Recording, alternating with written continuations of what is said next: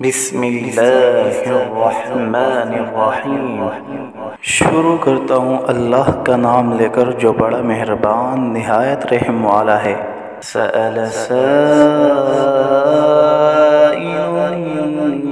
بعذاب واقع۔ للكافرین لیس له دافع۔ ایک سوال کرنے والا انکار کی غرض سے اس عذاب کے واسطے سوال کرتا ہے، جو کافروں پر واقع ہونے والا ہے اور جس کا کوئی دفع کرنے والا نہیں۔ من اللہ ذی المعارج اعرج الملائکت والروح الیہ فی یوم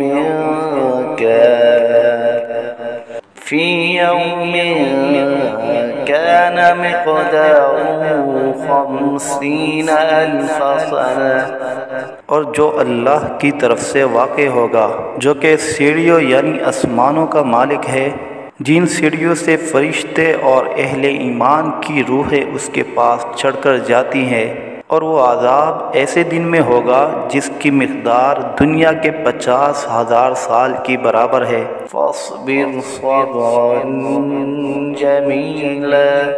سو آپ ان کی مخالفت پر صبر جمیل کیجیے۔